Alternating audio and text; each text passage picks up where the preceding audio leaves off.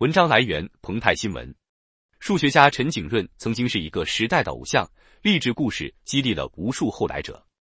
二零二一年十二月，与陈先生同名的青年数学家陈景润教授加盟中国科学技术大学，曾引发高校界广泛关注。近日，这位青年陈景润再传佳绩。据中国科大新创校友基金会微信公众号消息。二零二四年十月十三日，中国科学技术大学数学学院校友联谊会在上海进行。科大数学学院前身为数学系，由华罗庚先生创办，并担任首任系主任。学院主要负责人介绍，我校青年数学家陈景润教授今年获批国家自然科学基金委员会的二零二四年杰出青年基金项目。上述公号文章介绍，公众熟悉的陈景润曾得到华罗庚先生的多次提携。一九五七年，华罗庚亲自推荐他到中科院数学所工作。数学家王元平、陈景润是中国数论学派的主要人物，他是华罗庚在数论方面的传人，他对数学是有重大贡献，他的研究成果在历史上留有痕迹。公开资料显示，青年数学家陈景润教授本科毕业于南京大学，后在中国科学院数学与系统科学研究院博士毕业，此后在加州大学圣巴巴拉分校从事博士后工作。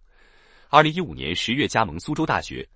二零二一年十二月加盟中国科学技术大学数学科学学院苏州高等研究院。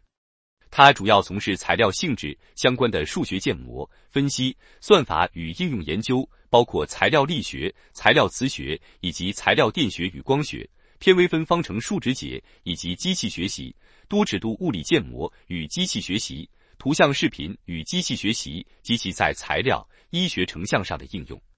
他主要工作发表在 SciM 系列期刊、Mathematics of Computation、Journal of Computational Physics 等应用与计算数学学术期刊上，以及 Nature Communications、Materials Horizons 等交叉领域学术期刊上。在中国科学技术大学苏州高等研究院官网上，陈景润课题组招聘博士后研究员的招聘公告显示，陈景润课题组成立于二零二一年十二月。团队研究方向为科学计算、深度学习、下一代工业软件。该团队为博士后研究员提供整体薪酬待遇，含福利不低于三十二万元。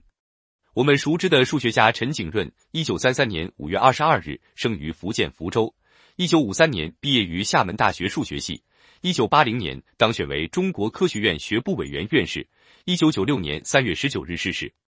他曾任中国科学院数学研究所研究员。